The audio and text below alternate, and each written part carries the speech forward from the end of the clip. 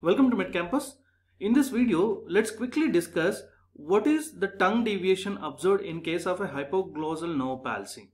Hypoglossal nerve is cranial nerve 12 and what is its function? It supplies all muscles of tongue.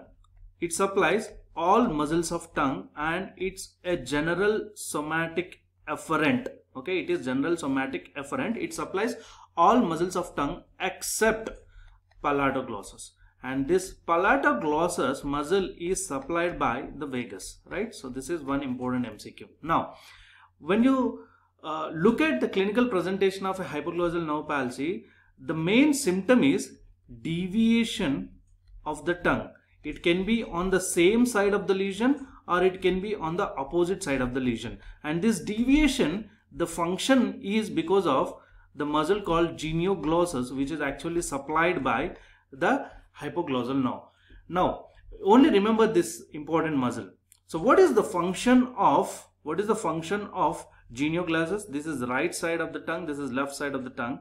The function of the genioglossus is it moves tongue to the opposite side. So, right side is this, and when you look at the left side, left side to the opposite side. So the left genioglossus pushes the tongue to the right side and the right genioglossus pushes the tongue to the left side. So with this basic knowledge, now let's see.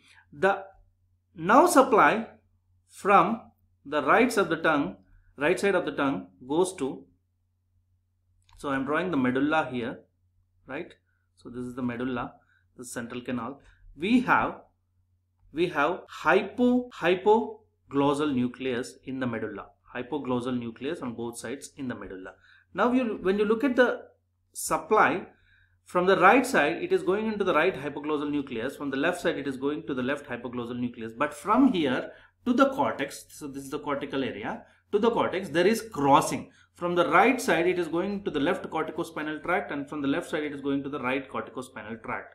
So this is the right corticospinal tract and this is the left corticospinal tract. So you have to remember this important finding called crossed fibers so they are crossed supranuclearly. That is above the nucleus they are crossed. Above the nucleus they are crossed. Now let's look at the right supranuclear palsy. So the right supranuclear palsy. What are the findings you see in right supranuclear palsy?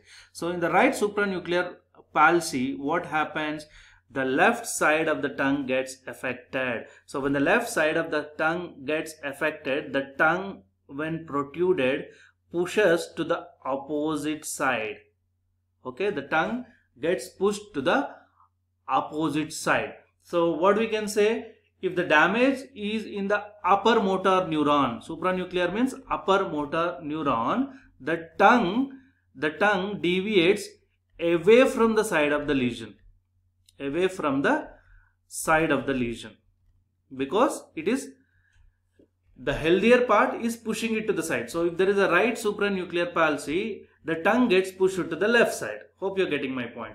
Along with that, one more thing you need to understand here is there's no fasciculations or atrophy. Fasciculations or atrophy are features of lower motor nuclear lesions. So you will not see any fasciculations of the tongue giving bag like bag of worm appearance or you will not see any atrophy. So that's the reason and mainly the patient will have speech difficulties is the predominant finding. Speech difficulties is the predominant finding. Tongue moves to the opposite side and there's no fasciculations or atrophy.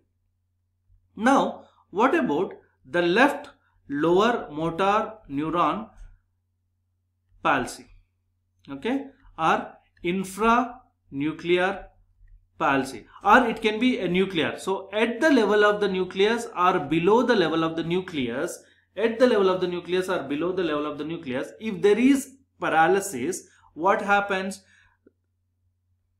The same side of the tongue gets affected and because the healthier side is pushing to the same side the pushing of the tongue is same side. So the deviation of the tongue is to the same side of the lesion and you will see presence of fasciculations plus atrophy. And finally fasciculations plus atrophy is the major finding. Major finding you see definitely you'll also see some speech difficulties but the major finding characteristic finding is fasciculation atrophy giving bag of worm appearance very important. Bag of worm appearance